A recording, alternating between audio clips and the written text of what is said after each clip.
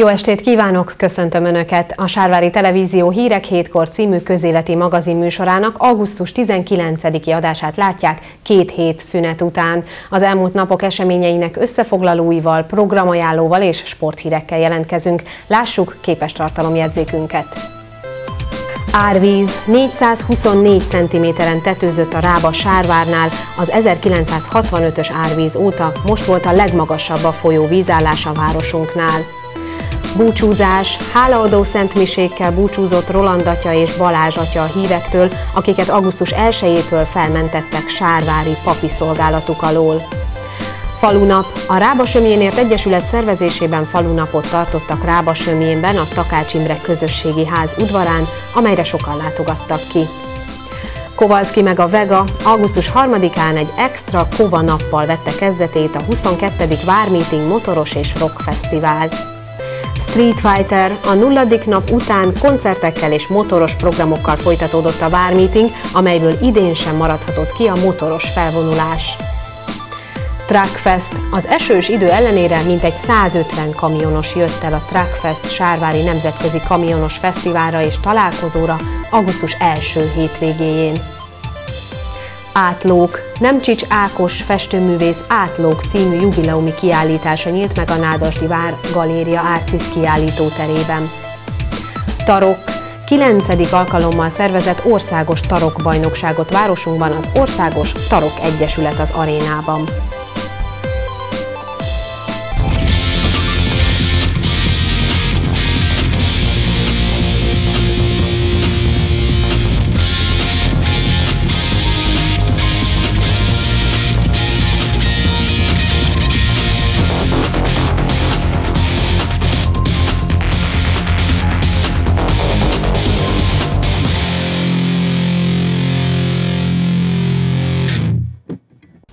424 cm-en tetőzött a Rába Sárvárnál. Az 1965-ös árvíz óta most volt a legmagasabb a Rába vízállás a városunknál.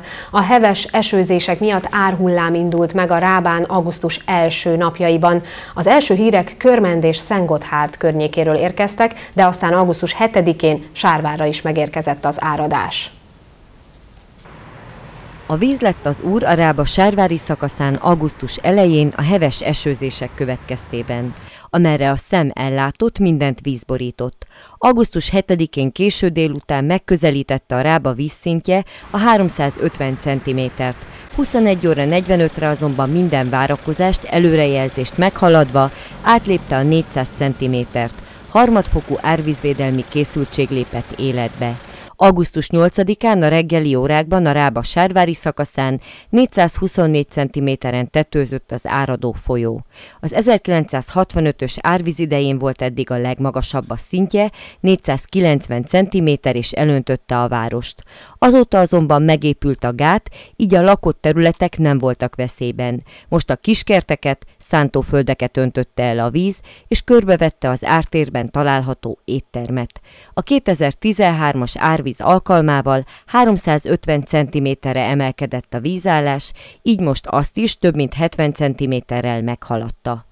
Augusztus 8-án délelőtt árvízvédelmi megbeszélést és bejárást tartott Sárváron Vámos Zoltán főispán, a Vasvár megyei területi védelmi bizottság elnöke, Kondora István Sárvár polgármestere, Gál Róbert, a Nyugat-Dunántúli vízügyi igazgatóság igazgatója, és dr. Bognár Balázs tűzoltó dandártábornok, a Vasvár megyei katasztrófavédelmi igazgatóság igazgatója, a vízügyi szakemberek és a rendvédelmi szervek részvételével. A tegnap esti 8 órás helyzet volt az, amikor a Nyugat-Dunántúli vízügyi igazgatóság harmadfokú készültséget rendelt el a Rábának a Sárvári szakaszán és ehhez kapcsolódóan az előrejelzések szerint ma reggel tetőzött a rába 420 cm környéki vízállással, amit nagyon fontos tudni, hogy 1965 óta nem volt ilyen magas vízállás a, a Rában, és nyilván ez optikailag is látványában is egy eléggé szokatlan és, és különleges látvány, de az a helyzet, hogy, hogy a tetőzés ugyan még mindig tart, de elértük azt a csúcspontot úgy, nézve, úgy néz ki, amely azt jelenti, hogy, hogy a töltéseknek, a védműveknek, amik az elmúlt években kiépítésre kerültek, a magasítására nem lesz szükség. Nyilván a, a védműveknek a, a biztonságos fenntartását folyamatosan figyelemmel kísérik a vízügyes szakemberek, és nyilván a katasztrófavédelem is készenlétben van minden olyan helyzetnek az elhárítására, ami, ami szükséges lehet, de, de ez az a vízállás, amit az előrejelzések szerint a legmagasabbnak látunk, és ami nagyon fontos, hogy a mostani időjárási képek, műhold felvételek, illetve jelentések alapján sem látszik utánpótlás, tehát nagyjából ez a 420 cm lesz az, ahol a rába tetőzni fog. Gár Robert, a Nyugat-Dunántúli vízügyi igazgatóság igazgatója elmondta, hogy három árvízvédelmi zsilipet is figyelnek Sárvár térségében, és az Aranyoséri zsilipnél szivattyúztak is a mentett oldalról a rábába. Ez egy nagyon ö, hevesen érkező és egy nagy tömegű árhullám. Ugye itt Szentgotthárdon és Körmenden is ö, az eddigi legnagyobb ö, vizeket megközelítő vízállással tetőzött. Tehát már számítottunk arra is, hogy itt is egy ö, hirtelen áradás és egy, egy magas vízszint fog kialakulni. Ö, viszont a völgybe kiömlő víz is elég nagy tömegű, ö, ami ugye összejátszik a rába ö, árvizével is, és ennek köszönhető az, hogy most Sárváron olyan vízszint alakult ki, ami már 1965 óta nem volt tehát kevés olyan ember van, aki ennél nagyobb vizet látott már Sárváron.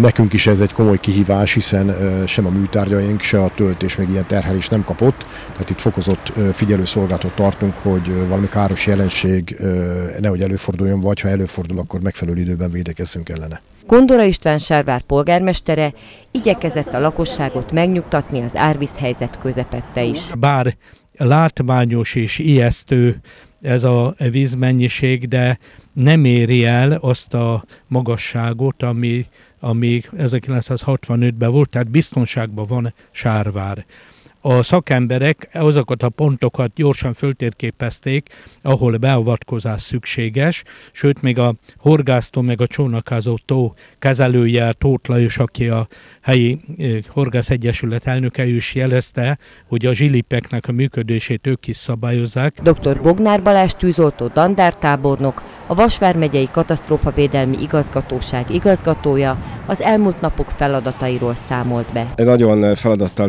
terhelt időszakon vagyunk túl az elmúlt napokban, amióta a rendkívüli időjárási esemény megkezdődött, és amióta az áradások megkezdődtek, itt nem csak a Rában, hanem a kisebb vízfolyásokon Vasvár megyében, a hivatásos, az önkéntes tűzoltók együttműködésben és koordinálva az önkéntes mentőszervezeteknek is a munkáját. Több mint 200 főről beszélünk, 72 helyszínen kellett, hogy beavatkozni, jellemzően valamilyen szivattyúzási feladatokkal, vízkárelhárítási feladatokkal, de sok helyen még a viharkárokhoz kapcsolódó fakidőlésekkel kellett foglalkozni a Vármegye tűzoltóinak. Ahogy az ár elérte itt a Sárvári térséget, folyamatosan monitoroztuk, és a vízügyel a Területi Védelmi Bizottság elnökével folyamatosan egyeztetve néztük azt, hogy mi várható itt a Sárvári régióban. Most azt tapasztaljuk, jelenleg nincsen, megnyugtatok mindenkit, jelenleg nincsen tűzoltói beavatkozásunk folyamatban. Ez köszönhető a megelőzési munkának, köszönhető annak, hogy az itteni védművek, műtárgyak, az felettek készítve az ekkora ellenvéhez vízhez közeli vízfolyásnak is a levezetésére. Az apadás már augusztus 8-án délután megkezdődött. Augusztus 9-én reggel 8 órakor már csak 383 cm-en állt a rába vízszintje Sárvárnál. Augusztus 13-án, néhány nappal a tetőzés után már szinte nyoma sem volt az árnak, csak néhány vízfolt maradt a szántóföldeken. Megkezdődött a károk felmérése, amelyek az áradás következtében elsősorban a szántóföldeken és a kiskertekben keletkeztek. Hálaadó szentmisékkel búcsúzott Roland atya és Balázs atya a hívektől, akiket augusztus 1-től felmentett sárvári papi szolgálatuk alól a megyés püspök.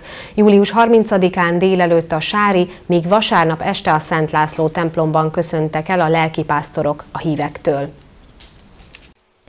Wimmer Roland atya hálát adott a Sárváron eltöltött 31 évért, ahol 1992. szeptember 1-én kezdte meg kápláni szolgálatát.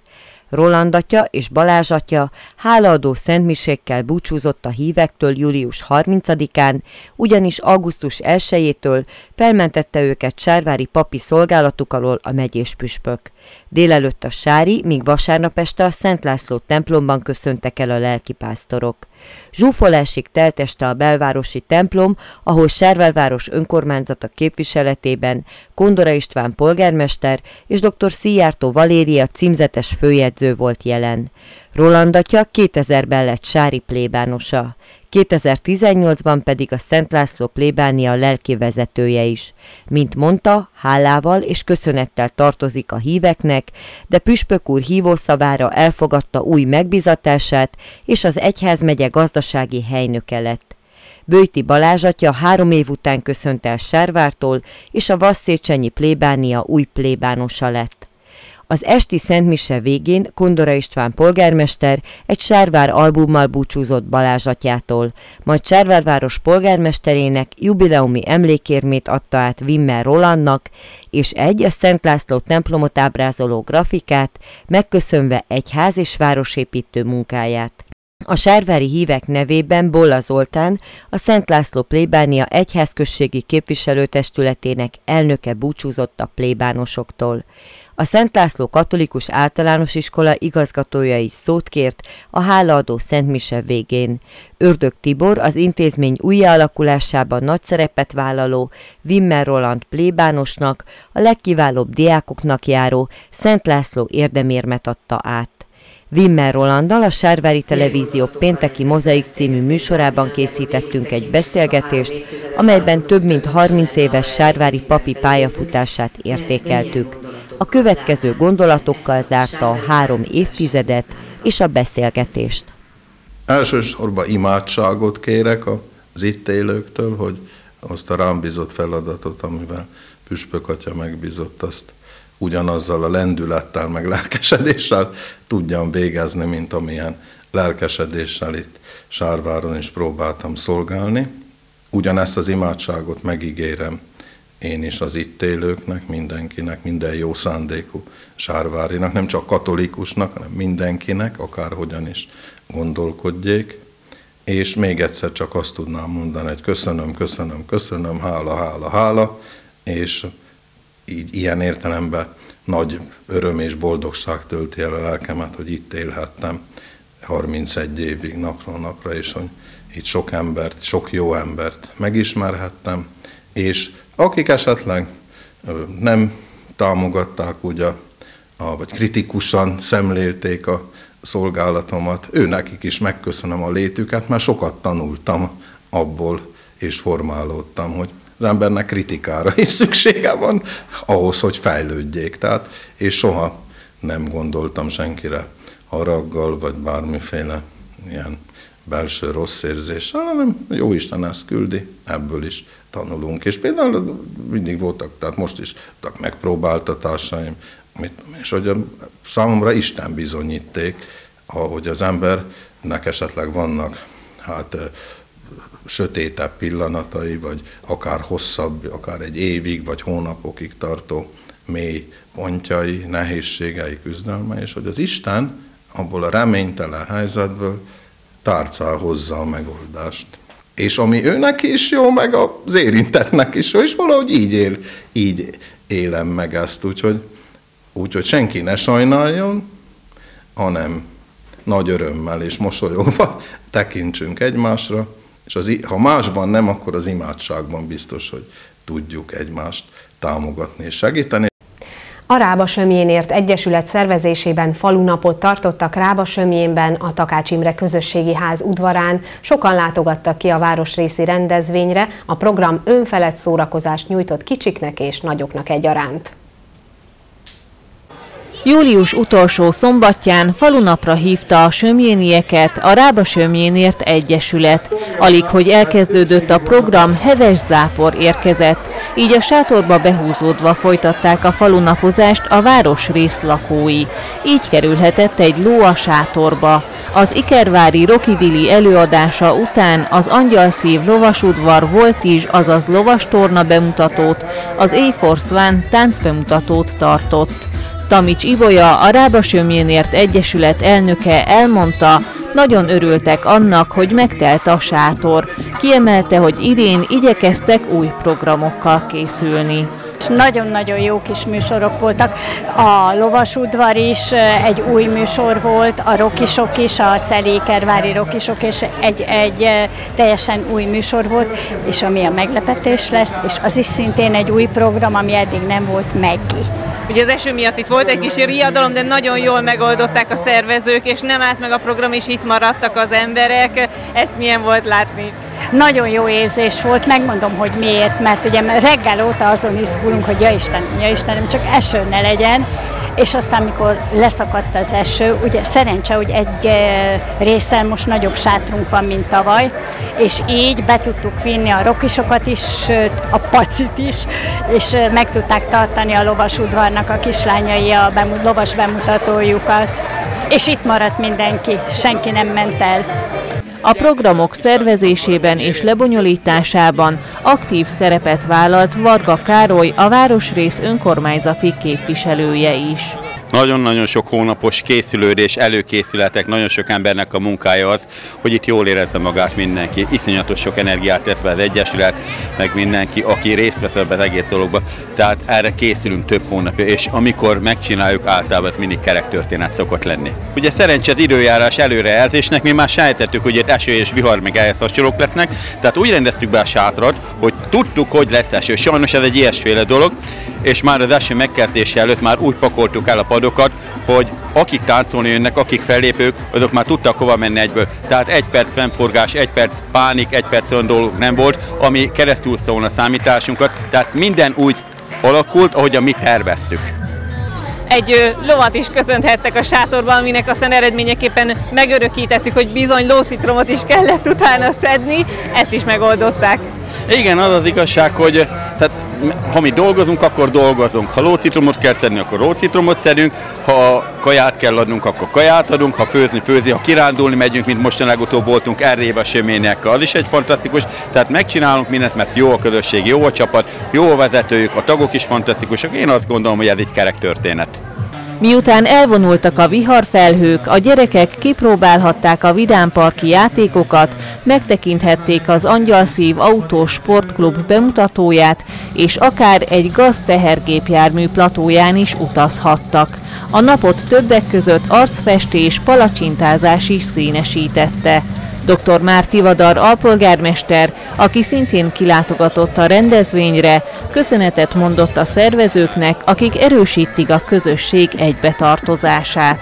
Az egyik legrégebbi ilyen programunk, amely valóban egy, egy városrész kicsit egy saját identitását is megmutatja.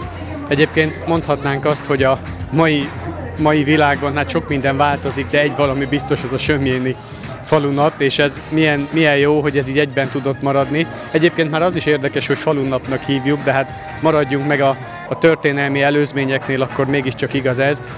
Másfelől viszont nyilván mutatja a közösségnek az egybetartozását, az, hogy talán ők úgy nyilván a város részeként, de mégiscsak megmaradtak egy, egy külön közösségként, és én azt látom, hogy ez nagyon szépen működik. Köszönhetően egyébként a szervezőknek, az, annak a jó néhány embernek, aki, aki úgy gondolja, hogy fontos ezért tenni. Egyrészt a Rába Sömjénért Egyesület, de hát mondhatnám a nyugdíjasokat, az, a képviselő természetesen Varraga Károly képviselő úr, Természetesen az önkormányzat is hozzáteszi azt, amit ehhez hozzá kell. Egyrészt persze anyagi értelemben, másrészt pedig nyilván talán azt a, azt a szellemi ernyőt is nyújtja, amely, amely azt példázza, hogy igen, nekünk Sárváron fontosak ezek az események, mert csak akkor tudjuk élettel, szellemmel, lendülettel megtölteni a várost, hogyha, hogyha ezek, ezekhez tartjuk magunkat. Az esti vacsorára a kondírokban marhapörkölt és babgulyás főtt, emellett a nyugdíjasok csirkepörköltel is készültek. Este megilépett a színpadra, majd megkezdődött a bál, a tánc.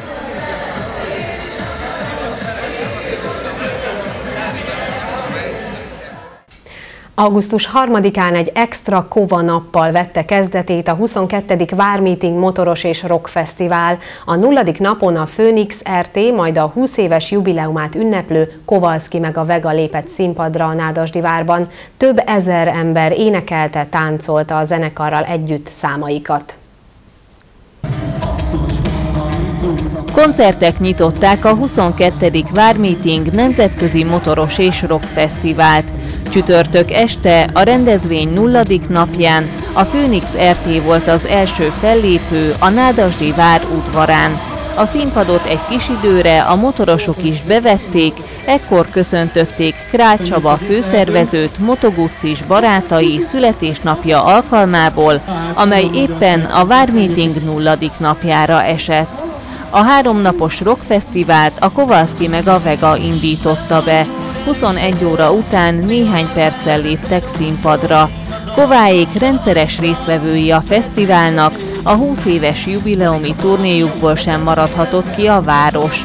Többek között erről, valamint a készülő nagylemezükről, a közelgő koncertekről, új dalokról is beszélgettünk a zenekar tagjaival. Úgy gondoltuk most évek alatt, hogy mivel egy 20 éves jubileumi koncert, ez, ez az év nekünk erről szól, hogy egy olyan estét szeretnénk, ahol egy kicsit bővebb műsorral tudunk a közönségnek egy programot összehozni, és mivel azok a napok, amikor eddig voltak, hogy több zenekar volt, abban nem fér volna nyilván bele, és akkor ajánlottuk Csabinak, hogy mi lenne, ha mi csütörtökön egy ilyen nulladik nappal, egy 20 éves jubileumi koncerttel kezdenénk meg ezt a fesztivált. Ő nagyon örült neki, mi is nagyon örültünk neki, és egyébként meg hát most már lassan hazajárunk ide, pont most gondolkoztam, hogy 2013-ban jöttünk először, és szinte minden évben voltunk, úgyhogy hát öröm ide visszajönni, és jól érezzük magunkat. Kova, te kiírtad a közösségi oldaladra, hogy friss szemműtéten estél át. Ennek ellenére nem mondtátok le a koncerteket, és itt vagytok. Hogy érzed magad, és végig tudod nyomni ezeket a koncerteket gond nélkül? Köszönöm kérdésed, most már egyre jobban vagyok, igen. Úgy érzem, hogy most már javul is az állapota, főleg a Barcelonának, mert arra még nem látok igazán, sőt egyáltalán nem.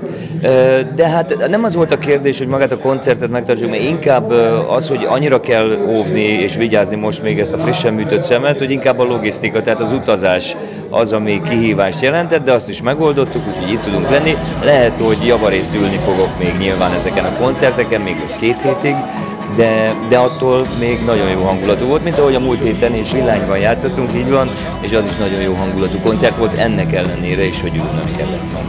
Akkor reméljük a közönség majd ugrál helyetted. Említettétek a 20 éves jubileumot, ugye egy nagy aréna koncerttel kezdtétek az idei évet és a jubileumot. Mennyire ég még bennetek azért ez a tűz, ez az adrenalina 20-as év kapcsán, hiszen aztán megkezdtétek a turnét is.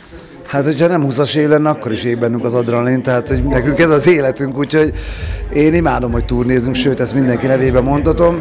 Annyi változás van ebbe az évben, hogy nyilván a 20 éves jubileumról szól, de a stúdiózás is pont ma beszéltük, hogy hogy kellene most már a lemezt befejezni, mert október végén szeretnénk egy jubileumi nagy lemezzel meglepni a közönségünket. Igazából jövő év februárjáig tart majd ez a jubileumi év, megpróbáljuk azt is majd egy vidéki két arénába, sőt ez már nem titok, Debrecenbe, illetve Veszprémbe fogjuk zárni egy arénás koncert ezt a 20 éves jubileumot. Mi nagyon örülünk annak, hogy rengeteget tudunk koncertezni, innen is örülünk, köszönjük, hogy ennyi meghívást kap a zenekar, úgyhogy imádjuk ezt az életet, és nagyon örülünk annak, hogy a, most nem nézünk már vissza, de azért még jó néha elmondani, hogy a Covid után végül a zenekar azt gondol, hogy azt beszéltük, hogy ez az az év, amikor már tényleg úgy tud működni, ami 2019-ben volt. Igen, és folytatjátok tovább, hiszen uh, említetted, lesz egy újabb a Barbonegrában, mire készültök? Hát igazából a különlegessége annak a koncertnek az lesz, hogy közönség találkozót is szerveztünk, most már végre újra, nem tudom, 5 év után talán. Elméletben, és remélem, hogy gyakorlatban is az új nagylemezhez is köthető ugye ez a dátum, októberben jelenik meg, és hogyha a dedikálást már az új nagylemezre végezhetjük, akkor mi leszünk a legboldogabbak.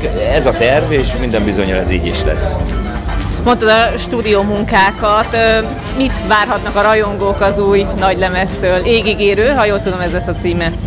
Hát én nem tudom, hogy pontosan mi lesz a címe, mert ez mindig úgy szokott lenni, hogy 86 címe van, azt egyszer majd kijön valamilyen címen, ezt majd kovályék megfejtik. Az újdonság, vagy az, ami még nem volt a zenekar életében, a Budapest Parkos koncertet felvettük, tehát élő koncertanyagot még nem adott ki a zenekar, ebből is lesz egy jó pár dal rajta a lemezen, illetve azok a dalok kerülnek rá, ami mondjuk még hangfordozón nem jelent meg, plusz megfejjük egy teljesen új dal, amit most kovályék már készítenek a következő napokban, úgyhogy igazából sietnünk kell, mert rendben, hogy októberben jelenik meg, de nekünk még olyan négy-öt hetünk van arra, sőt már annyi se, hogy a stúdió dolgokkal végezzünk. Úgyhogy most ez egy ilyen pörgős augusztus lesz, lesz bőven koncert, meg stúdiózás, e, és azt gondolom, hogy ezt a 20 évet ezzel a lemezzel tényleg úgy zárja a zenekar, ahogy mi ezt elképzeltük, vagy amit a közönség elvár tőlünk. Biztos, hogy izgalmas lesz élőbe visszahallgatni a Budapest Parkos koncertet. Én nagyon örülök, hogy egy ilyen lemez fogunk kiadni. És hogyha már új dalok, akkor nemrég két hónapra körülbelül kijött a horvát Tomival közös dalotok a Fehér Holló. Mennyire szereti a közönség? Mi úgy látjuk, hogy nagyon.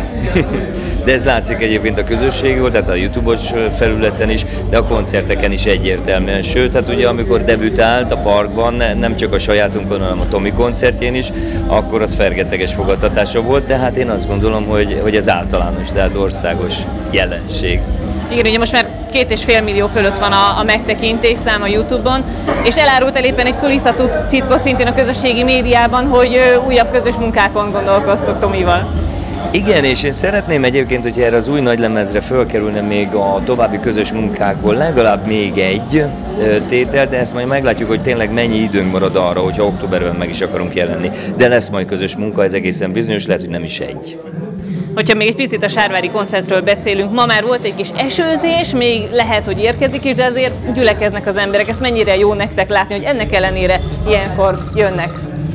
Volt már olyan koncertünk itt, nem is egy, ami eső áztatta, de azt gondolom, hogy olyan szuper közönségünk van, hogy azt vettük észre, hogy ha esik, ha fúj, ha süt a nap, mindig itt maradok, és végig tudjuk a koncerteket nyomni. Szerintem az a nagy eső már délután elment, úgyhogy már nagyobb esőre nem kell számítani, legalábbis mi így gondoljuk, és az így is lesz, úgyhogy szerintem egy ilyen jó hangulatú, terjedelmes koncert lesz.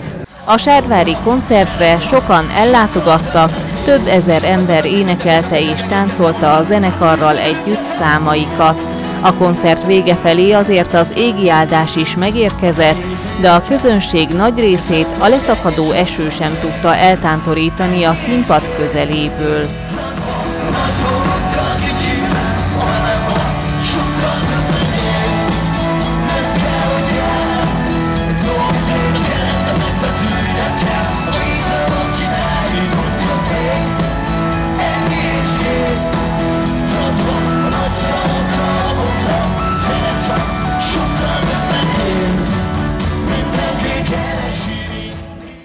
A nulladik nap után koncertekkel és motoros programokkal folytatódott a 22. Vármeeting Nemzetközi Motoros és Rock Fesztivál. Az első napon az Ómen, a Depresszió, a Tankcsapda és a Zafír akusztik, a második napon a Lord, az Ossian és a Ród zúzott a vár színpadán. Idén sem maradhatott ki a programból a Street Fighter Show és a motoros felvonulás. A 22. Vármeeting Nemzetközi Motoros és Rockfesztivál első napján még a koncerteké volt a főszerep. Pénteken az Ómen és a Depresszió zenekarok nyitották a programot, majd az est legjobban várt fellépője következett a tankcsapda. A koncert elején megérkező és végig kitartó szakadó eső sem tántorította el a leglelkesebb rajongóikat. Lukács Laci, Fejes Tamás és Sidlovics Gábor pedig komoly zúzással hálálta ezt meg. Három-négy évente kapunk egy ilyen esős hétvégét, próbálunk rákészülni, de soha nem sikerül. Tehát így ez azért a jegy árakba és a, a, a jegy darabszámba azért előjön sajnos. A csütörtököt úgy, hogy megúsztuk, mert a kova alatt kezdett el esni, akkor már ugye itt van, akinek itt kell lenni. Aztán a tegnapi nap az egy kicsit erősebbre sikerült esőileg. Úgy gondoltuk, egy forintot nem adtam volna, hogy itt három éltelt ház lesz, de aki, aki tényleg rajongó, az itt végigugrálta az egészet. Tehát az utolsó percig álltak az esőbe, és, és jó volt, tényleg jó volt. A Vármeeting második napja Street Fighter show-val indult.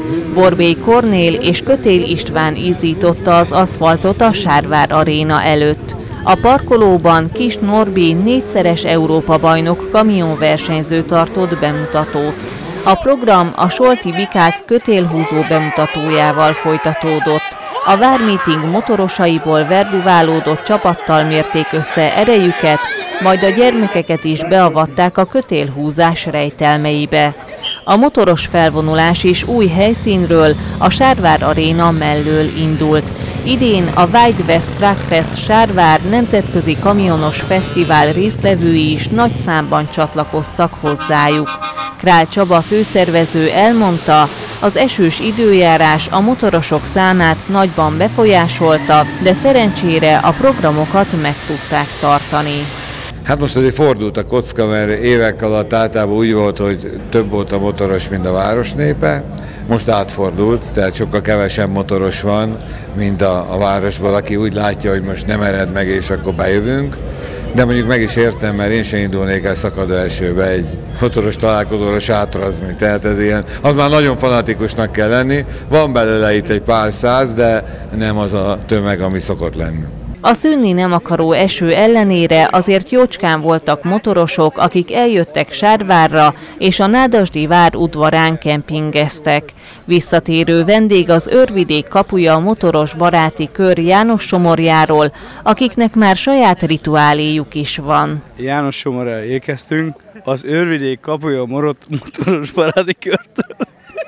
Ez most egy kis replikáció volt a 5-6 évvel ezelőtti riportomnak a mása. Tehát ez azt jelenti, hogy ti már többször jártatok itt? Hát úgy az összesen voltunk. Hogy tetszik nektek ez az időjárás? Azért idén nem kegyes hozzátok. Imádjuk, zöld lett a fű, Sajnos ö, nem tudjuk megtalálni az italt, amit elástunk, mert elfejtettük, hogy hová ástuk el, de holnap puhább lesz a fő, föld, ahova elássuk a jövő évi italunkat, amit minden évvel elásunk. Hogy tetszettek a programok? De Magyarországon nincs túl nagyon merítési lehetőség, csak ezek vannak, de mi ezeket szeretjük. És akkor jövőre is terveztek jönni? Mindenképpen ugyanis ezt szeretném mondani itt a STV-nek, hogy jövőre 10 éves az Őrvidék kapuja motoros baráti kör, és itt ezt nagy bulival szeretnénk megünnepelni. A motorosok között járva találkoztunk olyanokkal is, akik most először jöttek el a vármeetingre. Volt, aki kifejezetten hosszú utat tett meg azért, hogy itt legyen. Helyileg Bonyhádi vagyok, Budapestről jöttem. De ezt mire ide értem, az 3000 km volt. Én Topi vagyok, Simon Tornyára Tolna megyéből érkeztünk. Hallottuk, hogy jó a buli, eljöttünk. Ennyi. Tehát most először vagytok ti itt? Igen. Én, én először vagyok itt, azért jöttem, mert három nappal ezelőtt mondták a barátaim, hogy itt tesztek, mondom, hol vagyok, mondom, Szerbiában, de akkor följövök. Igen, hát mi nekünk a barátaink már régóta ide járnak, és rábeszéltek, hogy jöjjünk el, ezért motorra ültünk, eljöttünk. És ö, ki milyen motorral érkezett? Picit mutassátok be. Hát én azzal a sárga-fekete Harlival. Én úton vagyok. Én egy épített Hondával, Choppernak épített négy hengeressel, egy 82-es évjárat. Egy raplis nőszemély, de most már kezdünk összejönni.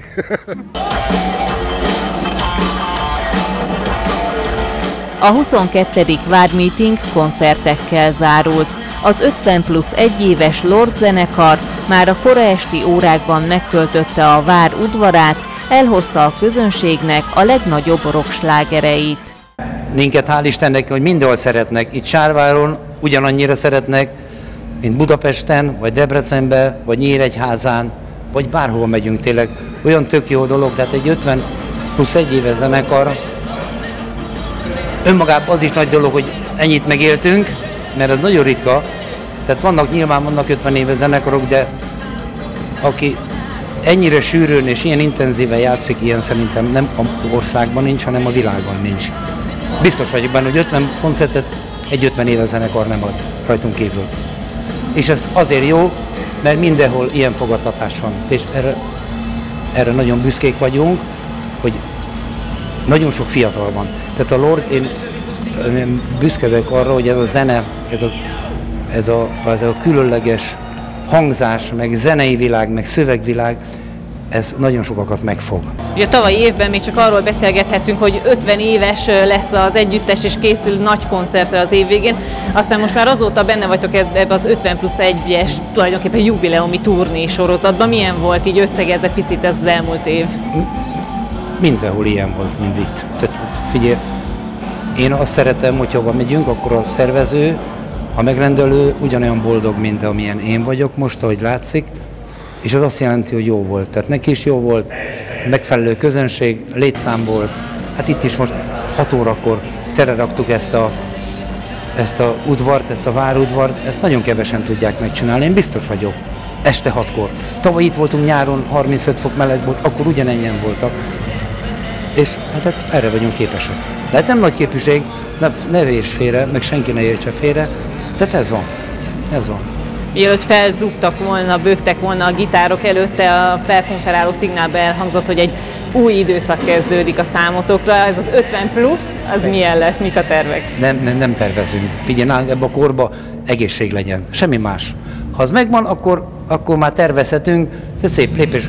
Tervezzük a holnap után, meg az augusztus, amikor van 11 koncertünk, tehát az nagyon sok egy hónapban. Meg szeptemberben is van vagy hét, tehát azért mi meg vagyunk áldva, és nagyon jó, hogy ennyien hívnak bennünket.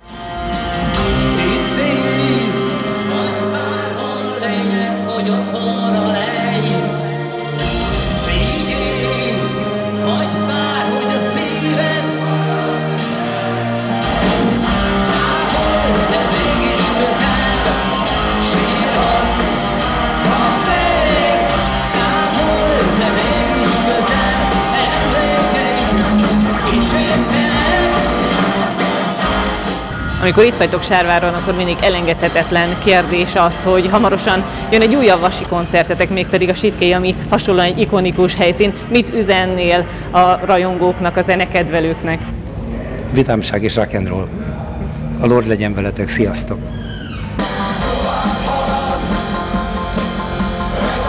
A Lord után Paksi Endre és csapata az Ossian forrósította fel a hűvös estét, végül a Róz zenekar metálzenéje rezegtette meg a várfalait. Épp csak véget ért a 22. vármeeting, a szervezők már bejelentették, hogy 2024. augusztus 2-án és 3-án ismét várják a motorok és a rockzene szerelmeseit Sárvárra. Az esős idő ellenére mintegy 150 kamionos jött el a Trackfest Sárvári Nemzetközi Kamionos Fesztiválra és találkozóra augusztus első hétvégéjén. Második alkalommal gyűltek össze a kamionosok városunkban, akik fel is vonultak Sárváron. A második Sárvári Nemzetközi Kamionos Fesztiválnak és találkozónak idén is a fürdővel szembeni kismező területe adott otthont. Itt sorakoztak fel a kamionok, amelyek nem csak az ügyességüket, de a szépségüket is összemérték. A fesztiválra kilátogatók nem csak megcsodálhatták a kamioncsodákat, de számos programon is részt vehettek. A Kamionos Fesztivál és találkozó egy a kamionos kultúrát és a járműveket bemutató esemény, amelyen családok, baráti társaságok, kamionos rajongók és minden érdeklődő örömmel látott vendég. Az esemény célja az izgalmas és kellemes időtöltés biztosítása, amely minden résztvevő számára élvezetes és felejthetetlen élményt nyújt. A szakmabelieknek is remek alkalom arra, hogy összefussanak rég nem látott kollégákkal, megcsodálhassák egymás járműveit, illetve hasonló érdeklődésű, a fuvarozói szakmát szenvedélyesen szeretőkkel találkozhassanak. Jó alkalom a kapcsolatok építésére, ápolására is, sőt, ha új állást, jobb helyet keres valaki, a kapcsolatok nyomán ezt is könnyebben teheti. Az idei résztvevők számáról Antal Tamás főszervezőt kérdeztük. Közel 150-en vagyunk. Honnan érkeztek, milyen körből, milyen távolságokról? Szlovákia, Németország, Ausztria, mindenhol inkább. Milyen programmal várták idén a kamionosokat, illetve a látogatókat? Egy-két programelemet, ha ki lehetne emelni gyorsulási versenyünk van, ami jelenleg zajlik, előre hoztuk az időjárás miatt, Kis Norbi tartott egy bemutatót a Palatius Attillával, szépségversenyünk lesz, ma még kamionhúzó versenyünk lesz, úgyhogy az időjárás mellénk át, mert azért elég jól megjöttek az emberek. Kik a legnagyobb nevek a mai Trackfesten, az idei Trackfesten? Itt van velünk a Kis Norbi AB bajnok, Kovács Miki Dakarral, Fazekas Karcsi Dakarral, akkor a Palatius Attila is itt van velünk, Sweet Zone csapata, Pista is itt van, Kővári Barné nyomja egész nap, úgyhogy teljesen meg vagyunk. Miért szeretik a kamionosok ezt a találkozót? Miért van szükség ilyen rendezvényekre? Ez egy közösségépítés, csapatépítés, itt mindenki jól érzi magát konkrétan. Ezt minden évben kell, meg kell csinálni. Tehát akkor az időjárás ellenére azt tervezitek, hogy jövőre is lesz? Persze, most már neki is állunk. Úgy. A 150 kamionos résztvevő többsége csatlakozott a 22. Vármeeting nemzetközi motoros és rockfesztivál felvonulásához is amelynek keretében a Sárvár Sótony Kám Ikervár Sárvár útvonalat járták be. A rendezvény legnagyobb érdeklődéssel kísért résztvevője Kis Norbi, négyszeres Európa-bajnok kamionversenyző, a Sárvár Aréna parkolójában tartott bemutatót.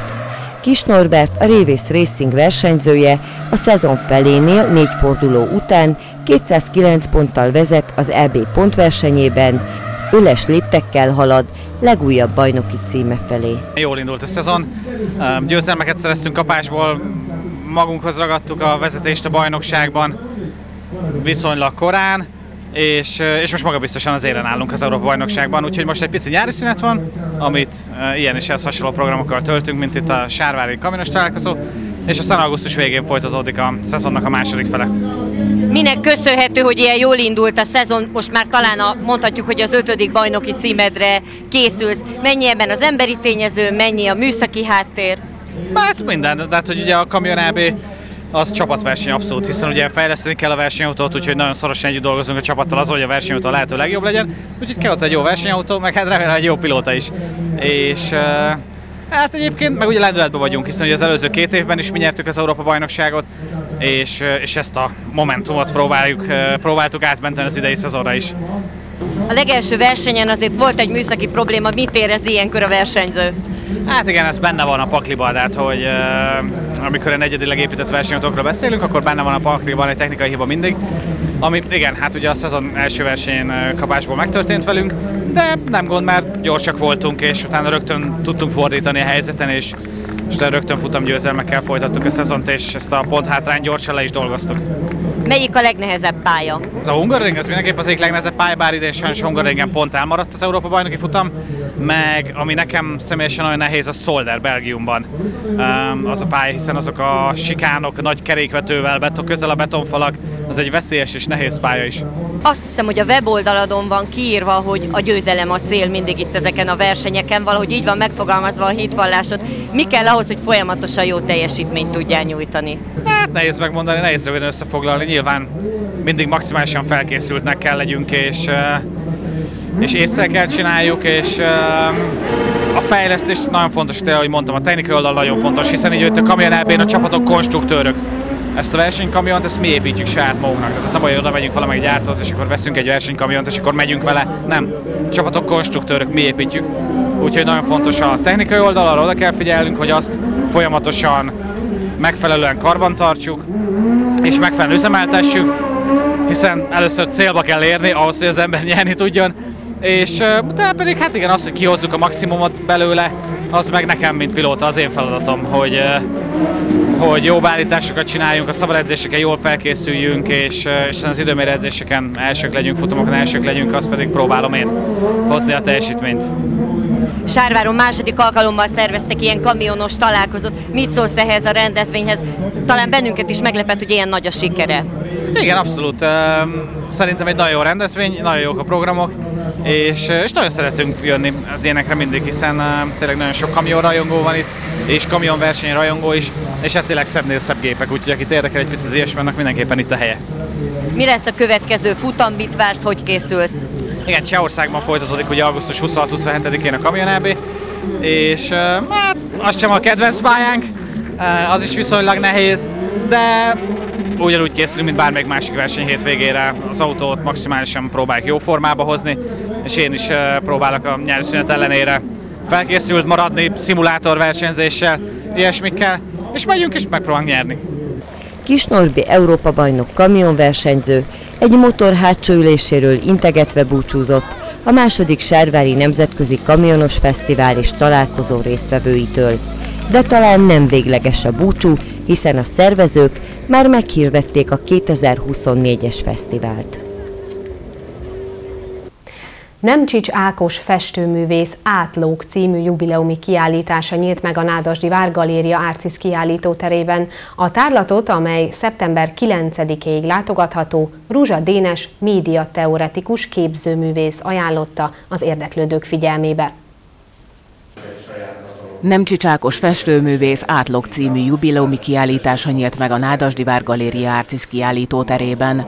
A kiállításon megjelenteket Takács Zoltán Bálint, a Nádasdi Kulturális Központ intézmény vezetője köszöntötte.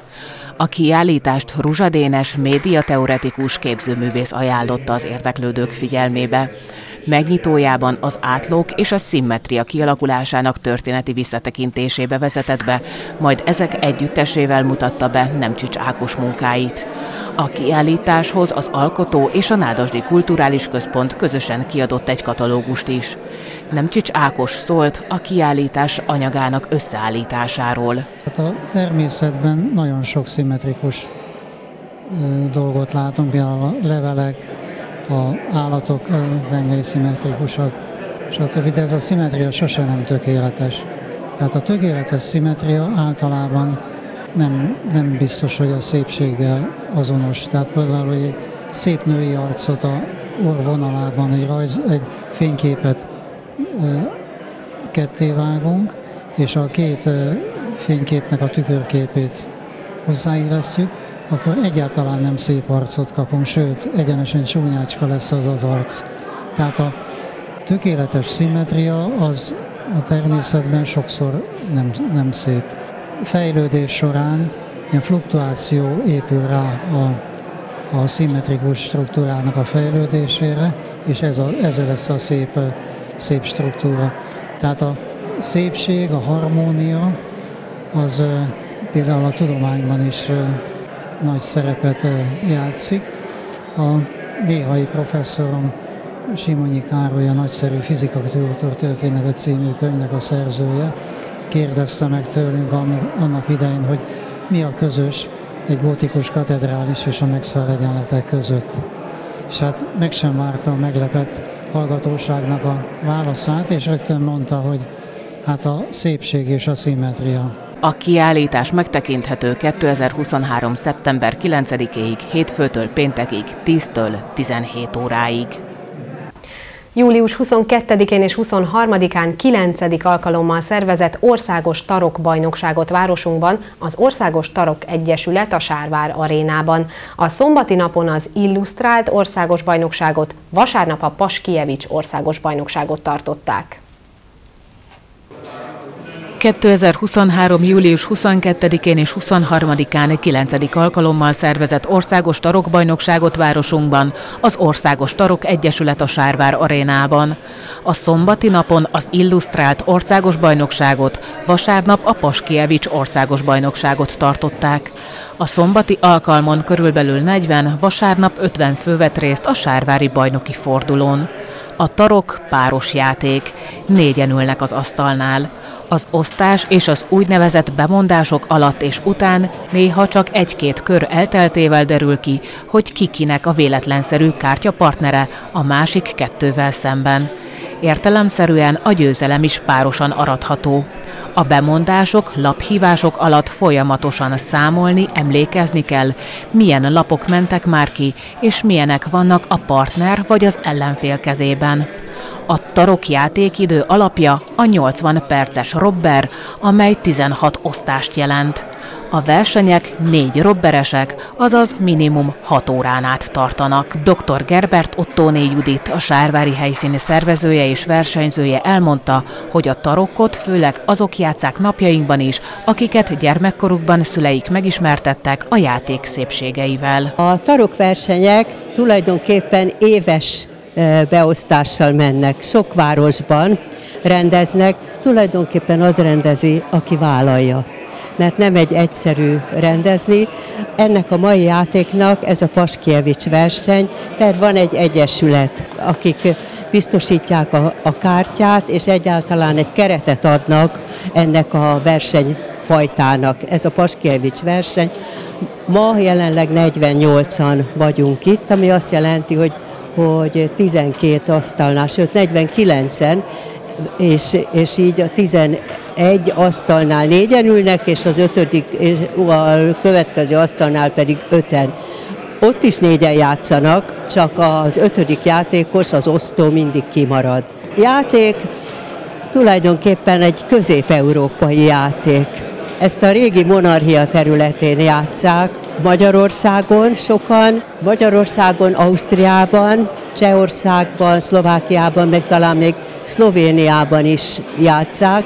Ez egy rendkívül érdekes játék. Az a probléma vele, hogy nagyon sok helyi változata ismerős. A tarok iránt érdeklődők jelentkezését nagy örömmel várják köreikbe a kártyajáték szerelmesei.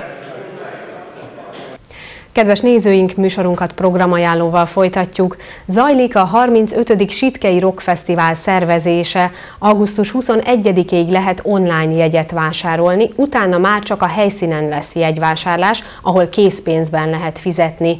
Augusztus 25-én fellép a Suzy and the Pills, a Leander Kills, az Ossian, a Totális Metal pokolgép évek. Augusztus 26-án a Hamuzák is, az Echonald, a Red Rackets, a Tűzkerék XT, a Mobilmánia Vikidál Gyulával, a Lord, a Beatrice és a Zoral lép fel. Részletek és minden információ a Sitkei Rock Fesztivál Facebook oldalán.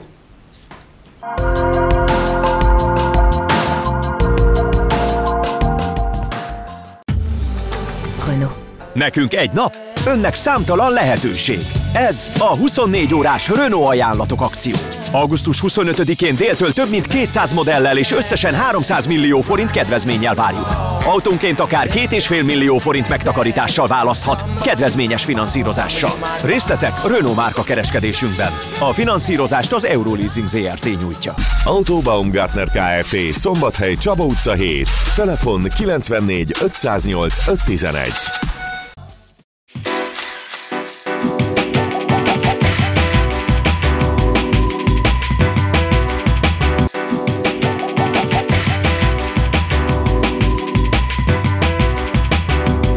Az Autobaumgartner Kft. várja a Renault és Dacia személygépkocsik iránt érdeklődőket. Az egységes Renault szabvány szerint megújult szalonunkban a legmodernebb technikai eszközök és felkészült értékesítési tanácsadók közreműködésével választhatja ki az ön számára leginkább megfelelő modellt. Amennyiben megtalálta álmai autóját, akkor helyben hitelügyintézéssel, biztosításkötéssel és minden új autóval kapcsolatos szolgáltatással állunk rendelkezésére. Szakértő kollégák segítségével minden modellünkhöz nagy választékban kínálunk tartozékokat, szezonális kiegészítőket. Szervizünkben a következő versenyképes szolgáltatásokkal várjuk. Renault és Dacia személy, valamint haszonjárművek garanciális és garancián túli javítása, időszakos karbantartása, gépjármű villamossági javítás, motordiagnosztika, karosszériajavítás, fényezés, kárfelvétel ügyintézés. Amíg ön a szervizben autójára várakozik, addig igényesen kialakított kávézónkban vendégül látjuk egy kávéra frissítőre.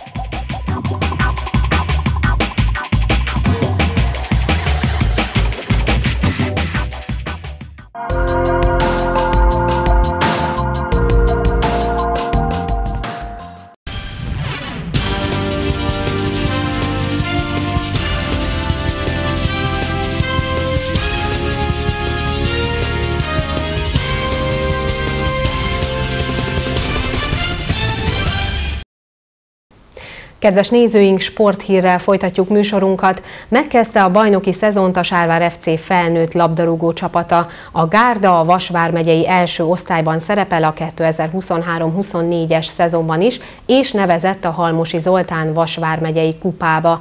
Az első kupameccset az Ostfiasszonyfa ellen játszotta, és 7 0 győzelmet ért el. A csapat célkitűzése, hogy a Vas megyei első osztályú bajnokságot az első három hely egyikén zárja.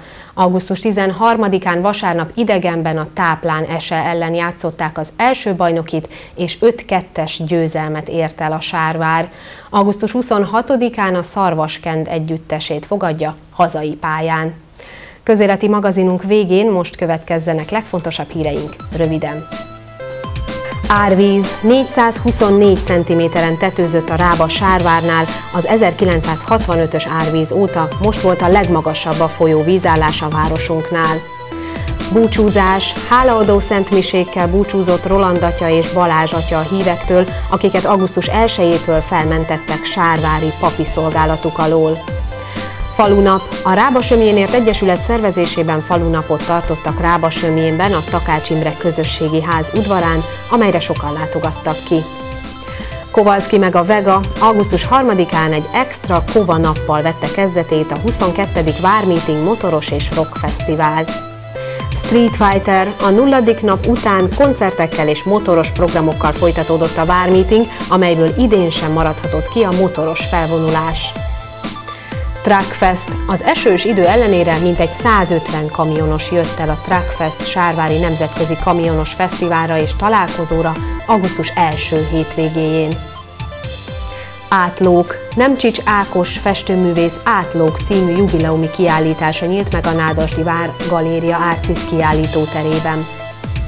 Tarok. 9. alkalommal szervezett országos tarokbajnokságot városunkban az Országos Tarok Egyesület az arénában. Kedves nézőink, Hírek hétkor című műsorunk augusztus 19-i adását látták. Műsorainkat megnézhetik YouTube csatornánkon és Facebook oldalunkon is. Új közéleti magazinműsorral augusztus 26-án jelentkezünk majd a viszontlátásra.